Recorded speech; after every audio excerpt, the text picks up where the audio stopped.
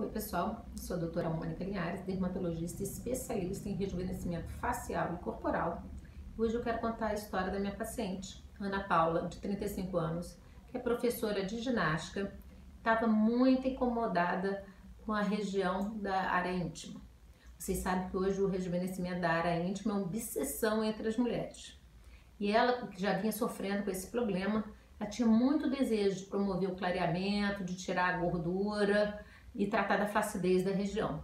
Então, hoje, após seis sessões, ela retornou ao consultório, nos contando que ela estava muito feliz, que ela já tinha conseguido uma melhor estética que tinha deixado ela muito satisfeita, ela já tinha tratado da flacidez e tinha perdido gordura dessa região.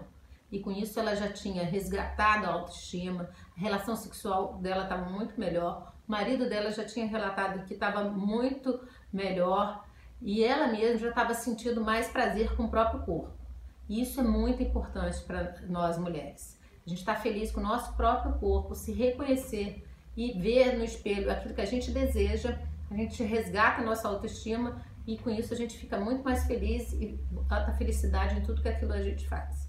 Então hoje eu quero convidar vocês a seguir, a, baixa, a clicar no link aqui abaixo do post, que eu vou estar tá falando sobre quais são as causas do envelhecimento da área íntima. Esse post está lá no blog dessa semana, que eu vou comentando todas as causas que principalmente as mulheres sofrem com a chegada da menopausa ou então do climatério, com o uso de hormônios, porque hoje é uma queixa que é muito comum, inclusive em pacientes jovens, que desejam melhorar a performance e tratar dessa região.